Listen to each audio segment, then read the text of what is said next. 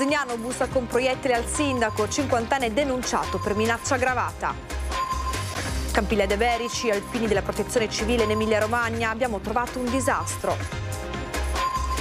Arzignano, danni del maltempo, arrivati gli ultimi rimborsi, 200.000 euro per 20 beneficiari. Presidio dei lavoratori della vigilanza privata a Treviso, tra le storie quelle di una mamma vicentina. Farmaci veterinari abusivi, blitz de NAS in otto allevamenti del Vicentino, 25.000 euro di multe. Montecchio Maggiore, anziana, sventa la truffa telefonica del falso incidente, si rivolge ai carabinieri.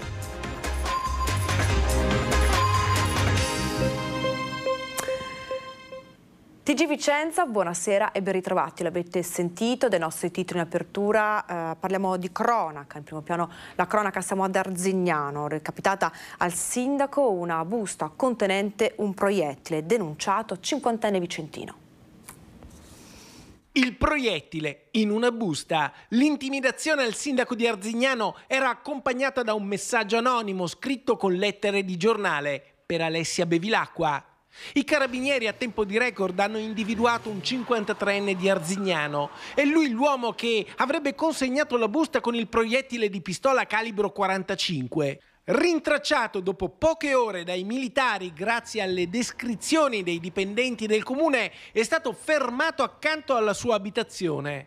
Subito è scattata la perquisizione della casa. I carabinieri hanno trovato in un cassetto in cucina una pistola scacciacani senza il tappo rosso, contenente sei cartucce forate in ottone. A quanto pare sarebbe stato trovato e sequestrato materiale di interesse riguardo all'intimidazione. L'uomo è stato denunciato per minaccia aggravata e mentre si attendono gli sviluppi investigativi, il vice sindaco e assessore alla sicurezza di Arzignano, Enrico Marcigaglia, esprime tutta la sua preoccupazione. Quello che io chiedo per la sicurezza di Alessia, ma anche per l'intera comunità, è che questa persona venga messa immediatamente nelle condizioni di non essere più pericoloso né per il sindaco né per l'intera cittadinanza.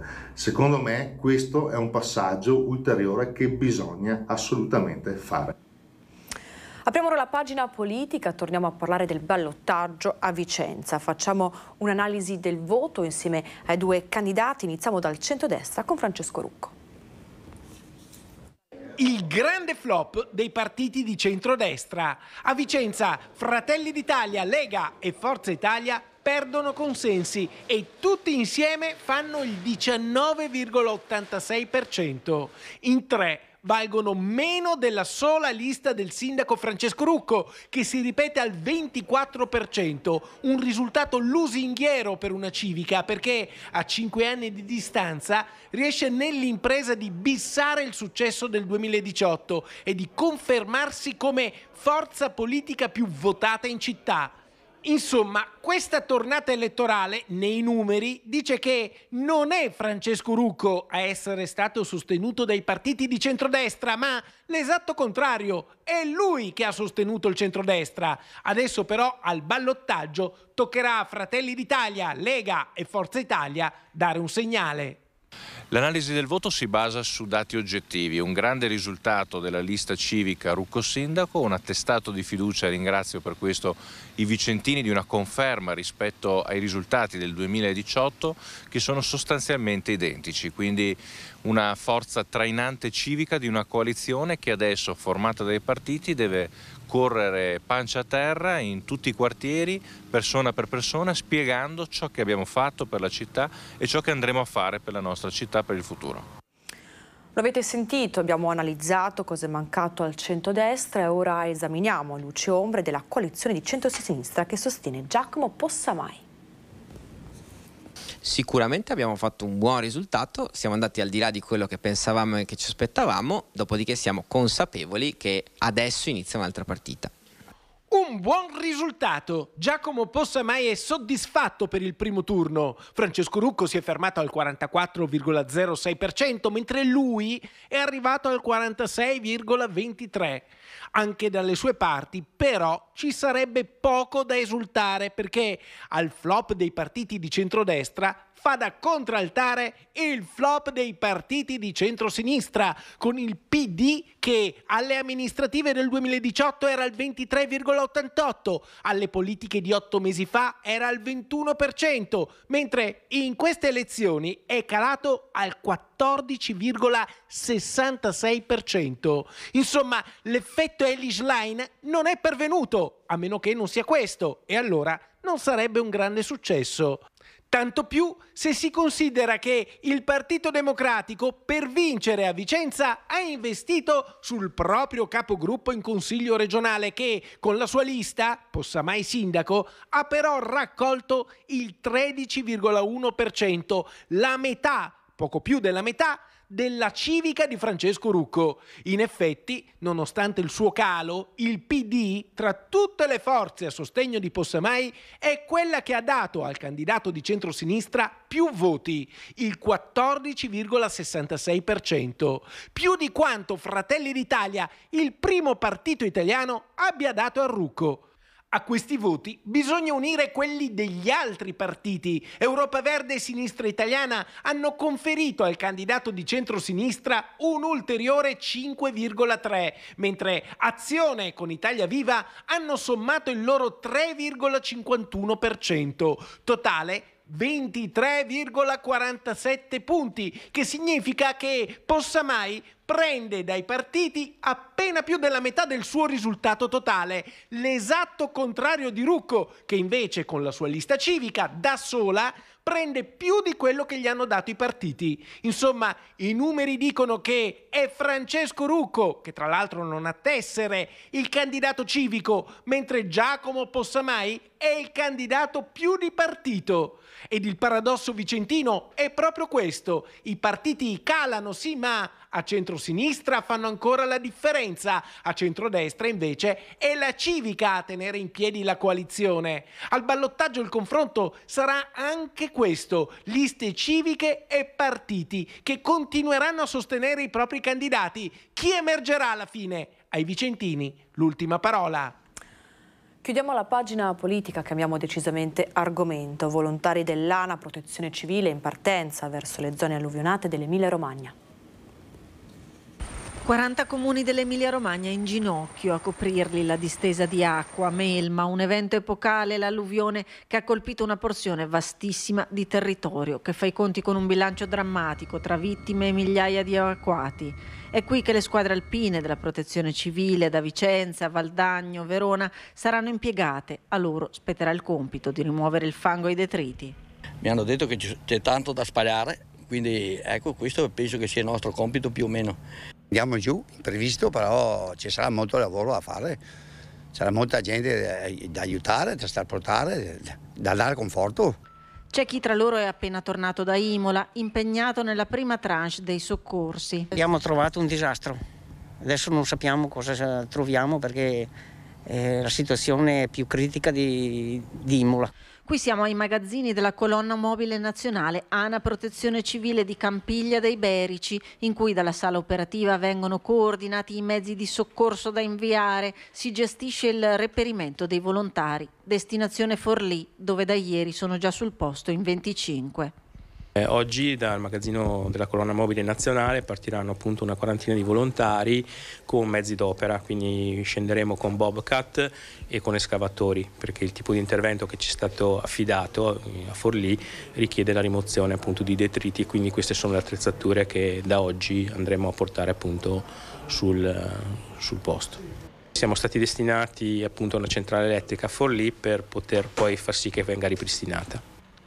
Porteranno le macchine in movimento terra, bobcat, escavatori e poi sarà la volta delle pompe per lo svuotamento dell'acqua dai locali, mentre in Emilia resta l'allerta rossa per le piene dei fiumi e le frane. Successivamente a questo cominceremo a far affluire delle motopompe da motopompe medie per appunto poi cominciare a rimuovere anche, cioè a far rimuovere l'acqua e poi pian pianino cominceremo probabilmente con motopompe più piccole e in caso poi sia necessario anche con dei moduli per fare la pulizia sia di strade che di, di edifici. E ora facciamo un passo indietro nel tempo e torniamo a parlare della tromba d'aria che sconvolse Arzignano nel 2020. In questi giorni sono arrivati gli ultimi rimborsi per 20 cittadini. Sono arrivati in questi giorni i contributi per risarcimento danni eh, del maltempo del 2020 per le attività economiche. Sono circa 200 mila euro per 20 beneficiari eh, che saranno appunto adesso distribuiti dalla, eh, dal Comune. Si conclude così il capitolo risarcimenti per le spaventose conseguenze della violentissima tromba d'aria che nel 2020 provocò ingenti danni alle abitazioni, alle aziende e a molti edifici pubblici.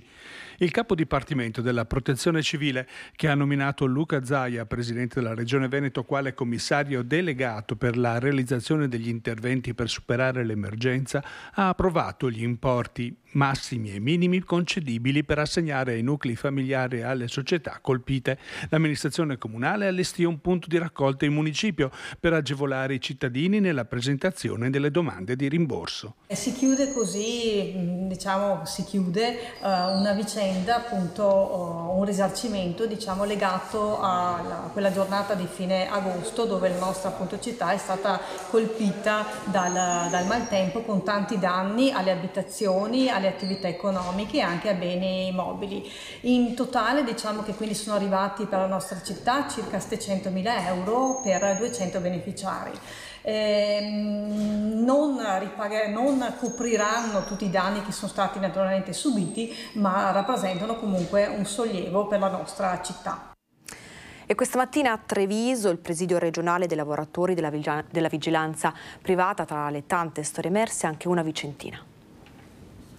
Prestavo servizio presso il pronto soccorso della città dove io opero, uh, una esagitata è entrata e ha incominciato ad aggredire. Per difendere il personale sanitario mi sono dovuto intromettere e ho preso botte, botte, botte, botte. È finito in ospedale? Certamente con prognosi attesa, nessuna tutela su niente. Mauro Galdi lavora come vigilante all'interno degli enti pubblici e spesso è stato vittima di aggressioni come quella raccontata. La sua è una delle tante storie emerse nel corso del presidio dei lavoratori della vigilanza privata in Piazza delle Istituzioni a Treviso. Poi c'è la testimonianza di Melania, mamma di due figli, presa servizio di sicurezza per il trasporto valori. Lavoro dalle 8 alle 10 ore al giorno, a volte anche 12, racconta. Non hai la possibilità di poterli accompagnare a scuola come non hai la possibilità di poterli andare a prendere a scuola perché sai quando inizi inizi e non si sa mai quando si finisce. Lei, come gli altri colleghi, lamenta l'assenza di tutele sia sul fronte contrattuale che per quanto riguarda la sicurezza. Facciamo tante ore, non veniamo retribuiti per quello che dovrebbe essere e in più io ho grosse difficoltà per la conciliazione familiare, un problema che purtroppo oggi come oggi ci per, non ci permette di vivere in pieno, non siamo tutelati su, su, nessun, su, nessun, settore, nel senso che comunque anche quando trasportiamo i nostri valori e siamo in mezzo a una strada e abbiamo delle difficoltà anche con i mezzi, soprattutto con i furgoni, non siamo tutelati. Quando uscite al mattino o alla sera per iniziare il vostro turno di lavoro, qual è il primo pensiero che fate? A mia figlia gli dico papà non sa a che ora rientra stasera.